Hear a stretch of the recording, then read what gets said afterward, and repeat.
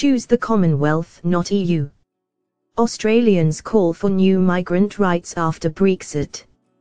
Commonwealth countries are urging the British government to give their citizens improved rights after Brexit.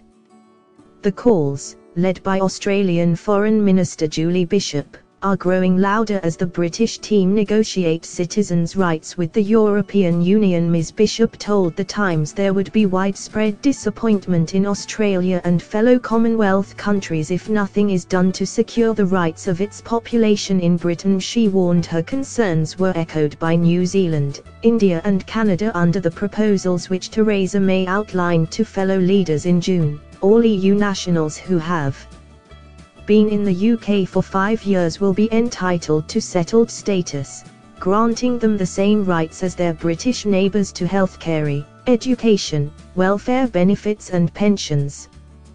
Those with a shorter period of residency will be able to stay on to reach the five-year threshold and others arriving after a yet-to-be-defined cut-off date will have a grace period to regularise their status Ms Bishop has demanded the same rights as those offered to the EU meaning, Australians will have a greater right to remain in the UK. Mrs May said her plans give those 3 million EU citizens in the UK certainty about the future of their lives and we want the same certainty for the more than 1 million UK citizens who are living in the European Union the Home Office has plans to give European citizens wanting to work in Britain after Brexit a soft-touch immigration option they would not need to apply for visas but their employers would need to get a work permit. This way, the government would be able to control the number of permits issued however, many Commonwealth countries fear the system would penalise their citizens they have to have secured a job and have a visa at hand to ensure that they can come to England. Australians have to obtain a visa to allow them to stay in the UK for five years but are only eligible if they have secured a skilled job, with a £25,000 salary.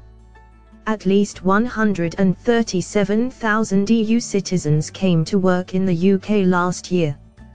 Figures show that there were at least 157,000 Australians and New Zealand working in the UK. But many Commonwealth countries are hoping that the process could be streamlined. The Indian government said the new immigration rules had raised concern. India's Udayarajan, an advisor to the Indian government said, mobility issues are of importance to us. We cannot separate free movement of people from the free flow of goods services and investments. Thanks for watching, please like, share and don't forget to subscribe English News Hub for new excited videos.